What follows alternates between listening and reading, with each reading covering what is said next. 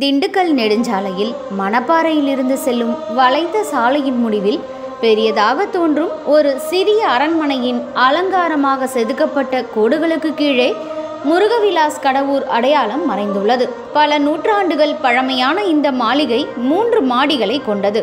இந்த மூன்று மாடி மாளிகை மிகவும் பரிச்சயமானதாக இருப்பதற்கு ஒரு காரணம் இருக்கிறது.